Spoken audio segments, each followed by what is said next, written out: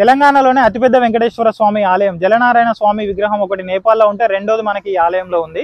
Hello hi అండి అందరికీ. Welcome back to our channel. నానుక్షణం Santosh. So friends అందరు ఎలా ఉన్నారు? బాగున్నారా? బాగుండాలని అయితే కోరుకుంటున్నాను. సో ఈ రోజు మనం తెలంగాణ రాష్ట్రం యాదాద్రి భువనగిరి జిల్లాలో ఉన్న స్వర్ణగిరి వెంకటేశ్వర స్వామి ఆలయానికి అయితే రావడం జరిగింది. సో ఫ్రెండ్స్ ఈ ఆలయం వచ్చేసి ఈ ఆలయం నిర్మించడానికి దాదాపు ఏడు సంవత్సరాల సమయం అయితే పట్టిందంట. అలాగే ఈ ఆలయం విస్తీర్ణం అంటే ఇరవై రెండు ఎకరాల విస్తీర్ణంలో ఈ ఆలయం అయితే నిర్మించారు. అలాగే భారతదేశంలో ఉన్న శిల్పులందరినీ తీసుకొచ్చి అంటే భారతదేశంలో ఉన్న వివిధ రాష్ట్రాల నుంచి శిల్పులందరినీ తీసుకొచ్చి ఈ ఆలయ నిర్మాణం అయితే చేశారు. అలాగే ఈ ఆలయంలో ఒక పెద్ద జయగంట అయితే ఉంటుంది. ఆ గంట వచ్చేసి ఆరు అడుగుల ఎత్తు అలాగే పదిహేడు వందల కిలోల బరువు కలిగి ఉంటుంది. అలాగే ఇక్కడ జలనారాయణ స్వామి విగ్రహం ఒకటి నేపాల్లో ఉంటే రెండోది మనకి స్వర్ణగిరి క్షేత్రంలో ఉందంట. ఈ ఆలయం గురించి చెప్పుకుంటూ పోతే చాలా విషయాలు అయితే ఉన్నాయి. మనం వీడియోలోకి కంటిన్యూ అయ్యి ఆలయం గురించి పూర్తి వివరాలు అయితే తెలుసుకుందాం. ఫస్ట్ టైం ఈ వీడియో చూస్తున్న వాళ్ళు ఎవరైనా ఇది ఉంటే మాత్రం తప్పకుండా లైక్ చేయండి. అలాగే ఈ వీడియోని ఎక్కడ స్కిప్ చేయకుండా పూర్తి వరకు అయితే చూడండి. మనం ఈ ఆలయం గురించి చాలా విషయాలు అయితే వీడియోలో మాట్లాడుకుందాం. అలాగే మన ఛానల్ను రెగ్యులర్గా ఫాలో అవుతున్న వాళ్ళు ఎవరైనా ఉన్నా మాత్రం తప్పకుండా కామెంట్ చేయండి. వీడియో ఎలా ఉందని చెప్పేసి. ఇంకా లేట్ చేయకుండా వీడియోలోకి అయితే కంటిన్యూ అయిపోదాం. రండి లెట్ స్టార్ట్స్ వీడియో సో మనమైతే స్వర్ణగిరి ఆలయం దగ్గరికి అయితే రావడం జరిగింది. ఫస్ట్ మనం ఎంట్రెన్స్ ఫస్ట్ వెళ్ళేటప్పుడు అయితే మనకైతే స్వాగత తోరణం అయితే కనబడుతూ ఉంటుంది. ఇక్కడ చూసుకోవచ్చు మీరు. శ్రీ వెంకటేశ్వర స్వామి విగ్రహాలు ఎత్తైన శంకు చక్రాలు అలాగే భగవత్ రామానుజుల వారి విగ్రహాలు ఈ స్వాగత తోరణం అయితే మనకి ఇలా కనిపిస్తూ ఉంటుంది. స్వాగత తోరణం నుండి కొంచెం ముందుకు రాగానే మనకు రామానుజ మార్గం అనేది ఈ దారి మొత్తాన్ని రామానుజ మార్గం అనేది పిలుస్తూ ఉంటారట. అలాగే ఇంకా కొంచెం ముందుకు వెళ్తే మనకు బ్రహ్మరథం అయితే కనిపిస్తూ ఉంటుంది. బ్రహ్మరథం విశిష్టమైన స్వాగతాన్ని వర్ణించేటప్పుడు ఈ స్వర్ణగిరిని దర్శించుకోవడానికి వచ్చిన భక్తులకు స్వాగతం పలుకుతున్నట్టు అయితే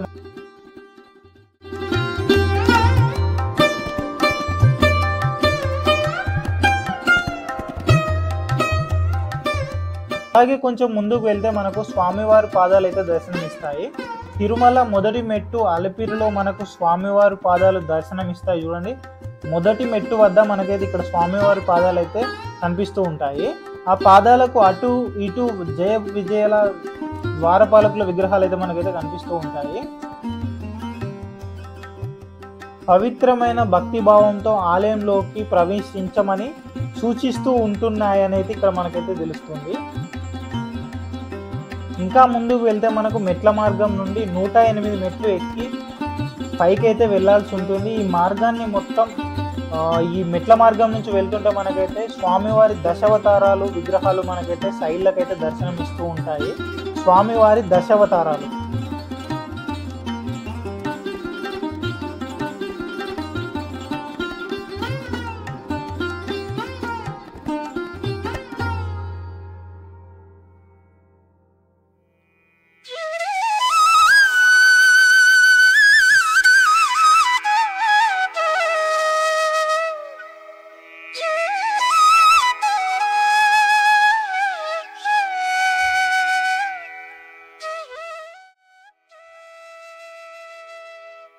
ఈ ఆలయం వచ్చేసి దాదాపు ఇరవై రెండు ఎకరాల ప్రాంగణంలో ఈ స్వర్ణగిరి ఆలయం అయితే నిర్మించారు. అంతేకాకుండా భారతదేశంలో వివిధ రాష్ట్రాల నుండి కొంతమంది శిల్పులను తీసుకొచ్చి ఈ ఆలయాన్ని అయితే నిర్మించారట. చాలా మంచి శిల్పాలతో ఈ ఆలయాన్ని అయితే నిర్మించారు. స్వర్ణగిరి తెలంగాణలోనే అతిపెద్ద వెంకటేశ్వర స్వామి ఆలయం అయితే చెప్తూ ఉంటారు.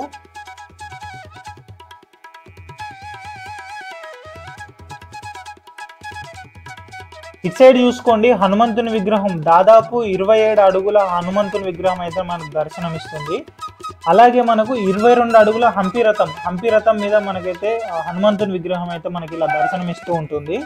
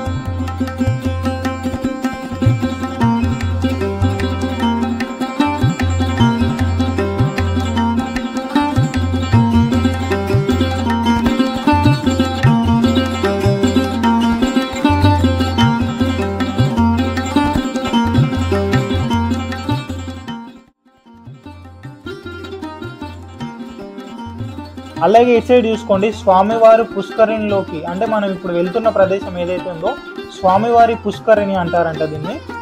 ఈ పుష్కరిణి దాదాపు పదివేల అడుగుల చదరపు అడుగులు ఉంటుందట ఈ పుష్కరిణి మొత్తం.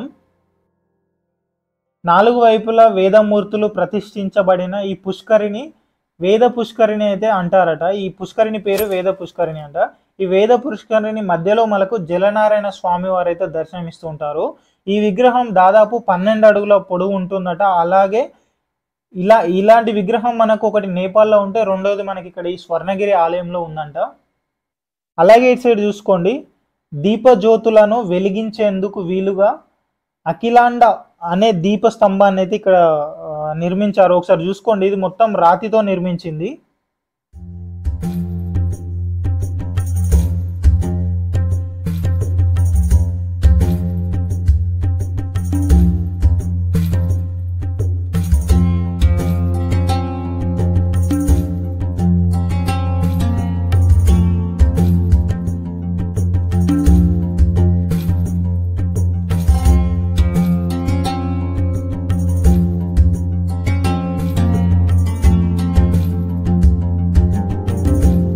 అలాగే ఇటు సైడ్ చూసుకోండి. శ్రీ స్వామివారి ఘంటా మండపం జయగంట అంటారు. ఇది దాదాపు ఆరు అడుగుల ఎత్తుతో కలిగి ఉంటుంది. పదిహేడు వందల కిలోల బరువు కలిగి ఉంటుంది జయగంట ఈ జయగంట అయితే చాలా ప్రత్యేకతగా ఉంటుంది. ఇక్కడ చాలా మంది భక్తులు అయితే ఈ జయగంటని అయితే మోగించడానికి అయితే వస్తున్నారు.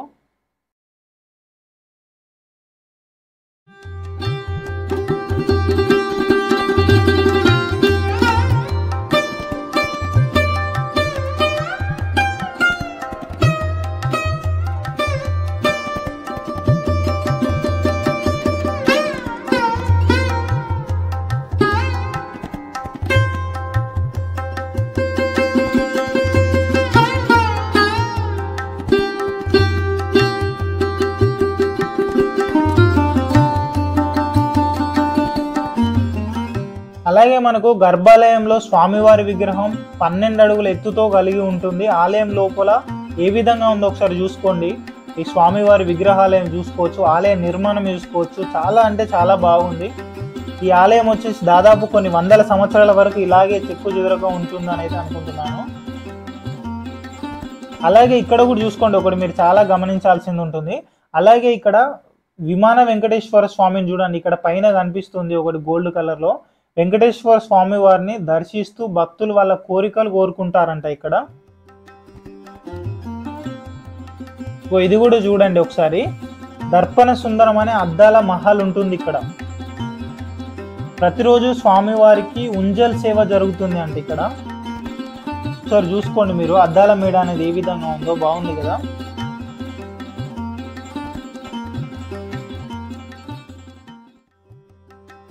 ఈ ఆలయం నిర్మించింది మానపల్లి రామారావు వాళ్ళ కుమారులు అయితే ఈ ఆలయం అయితే నిర్మించారట.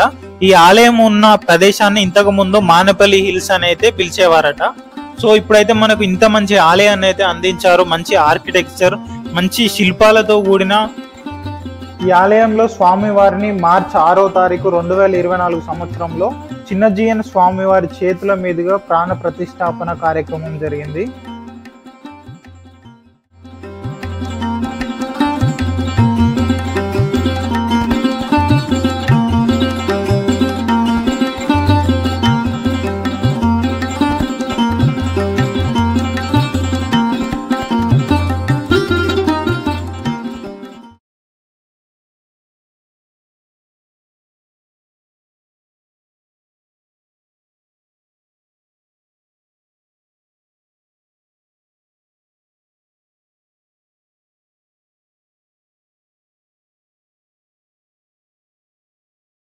వీడియో ఎలా ఉందండి? దాదాపు ఏడు సంవత్సరాలు పట్టింది ఈ ఆలయం నిర్మించడానికి అయితే సో మనకు భారతదేశంలో ఉన్న శిల్పులందరినీ తీసుకొచ్చి ఇక్కడ ఈ ఆలయంలోని శిల్పాలన్నీ నిర్మించి మనకైతే ఇంత మంచి ఆలయం అయితే అందించారు. సో ఫ్రెండ్స్ ఇలాంటి మంచి మంచి ఇన్ఫర్మేషన్ వీడియోస్ మన ఛానల్లో ఇంకా ఉన్నాయి. ఫస్ట్ టైం ఈ వీడియో ఎవరైతే చూస్తున్నారో అలాగే మీరు మన ఛానల్లో ఉన్న వీడియోస్ అన్ని చూడండి.